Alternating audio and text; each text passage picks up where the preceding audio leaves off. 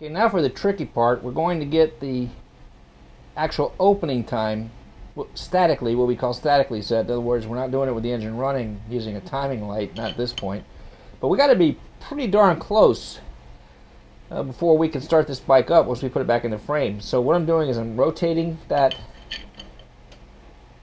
uh, advancer again. You can see that here's 2 and 3 showing up in the little window. I'm looking for 1 and 4. Remember what I said, the marks where there's an F and a T. F is that firing mark I'm looking for. So now we're coming up close. Those two little spread lines, those are maximum advance. So when the engine running and I bring the RPMs up, I should see it with a strobe light come up there. But I'm interested in the F. Now, I'm going to keep it just short of the uh, mark at this point because here's the process. Let's see if I can back out and show that all to you. I'm going to be using an ohm meter here to let me know when those points have opened.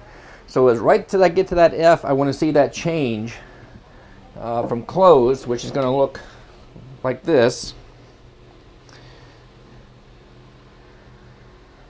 to open. So I'm going to be looking for that as I slowly bring that up to F.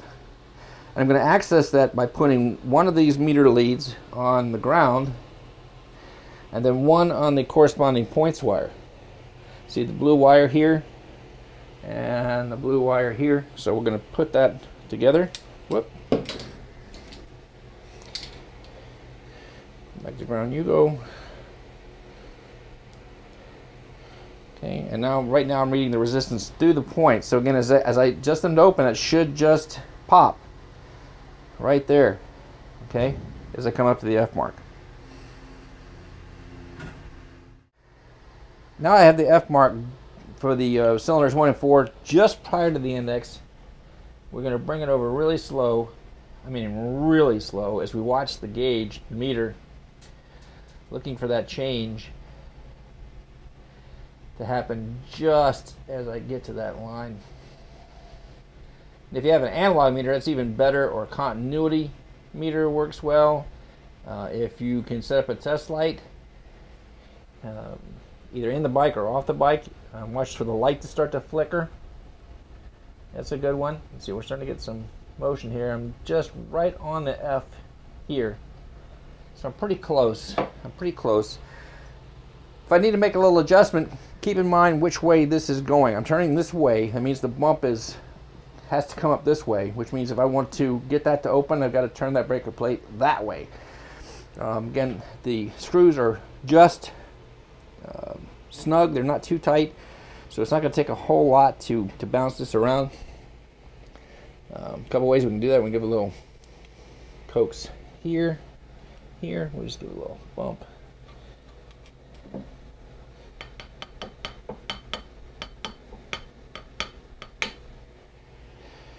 Okay, and there's the change. Again, this is, I mean, you're talking little bit at a time, little bit at a time. Okay, so we're going to snug these down evenly, if possible, to keep anything from changing.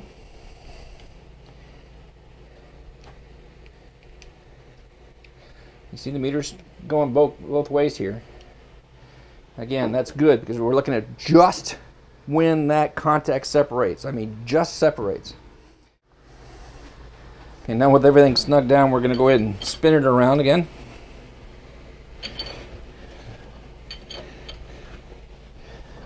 Looking through the window the 1-4 marks. Bring it up just to the F. But now I'm going to watch the gauge more. And just barely moving it.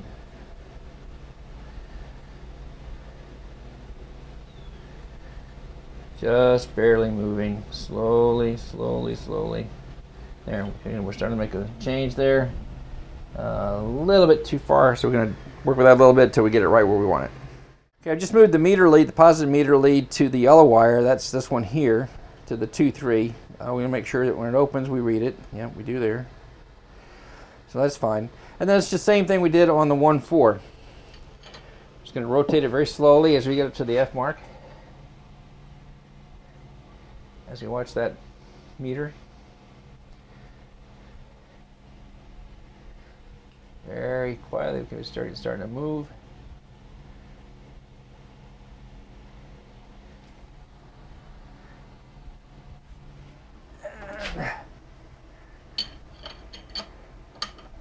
And getting close to the F here, we're just going to kind of bounce it. And you see the, the shift on the grayscale on the bottom, how that's bouncing around. Actually, this is a little head. So I'm going to bring it a little closer to the F. But this is going to need a little bit of adjustment. Now, it's coming on early, which means as we turn this way, the bump on the cylinder, uh, the, the mechanical advance cylinder, is getting here too soon, which means we have to turn this part away from that to happen later, right? It's got its own little plate here, two screws holding in place, and then a slot to adjust it here. So let's break those loose.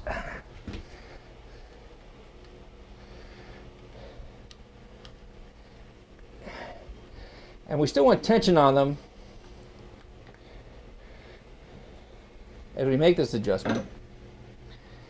And let's see, what do we lose there?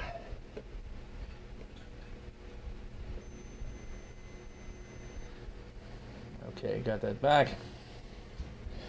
Uh, again, double check. Opens and closes. So now we got to get this to turn to where it's going to just shut off, moving very slightly. Okay, right about in there. Let's snug that down again.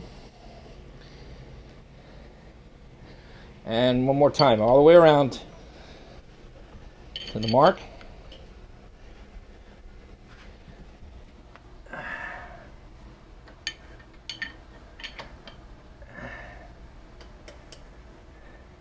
2 3.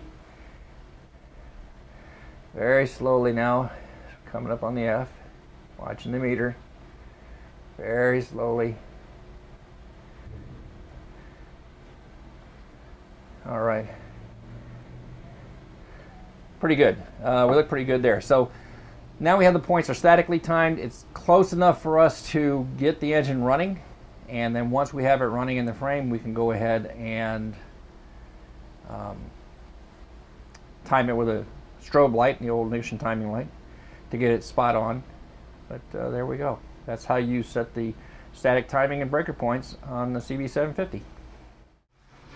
Okay, with the breaker plate cover installed to protect the points, uh, when we put it back in the frame, we're just about done with the engine. Uh, now we just need to get it back in the frame and wire everything back up and fire this thing up, see how it sounds.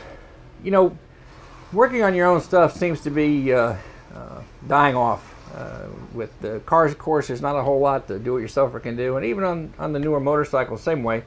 But there is a whole lot that you can do, and if you're not doing it, I would kind of encourage you to go ahead and do that. First, it saves you some money, and uh, number two, it uh, helps you build that bond between you and your ride. You get to know it a lot more intimately than you would just by, you know, firing it up and roaring down off down the road.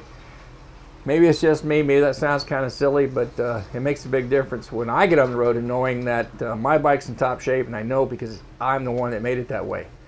And you can too, with a little help from SBTV How To. We'll see you next time. Did you enjoy the video you just watched? Did you find it helpful? We sure hope so. If you did, make sure you give us a thumbs up and you add your comments to that section right below the player there. And don't forget to share our videos with your Harley riding friends.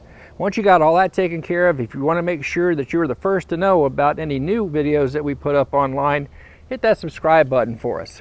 Thanks for watching.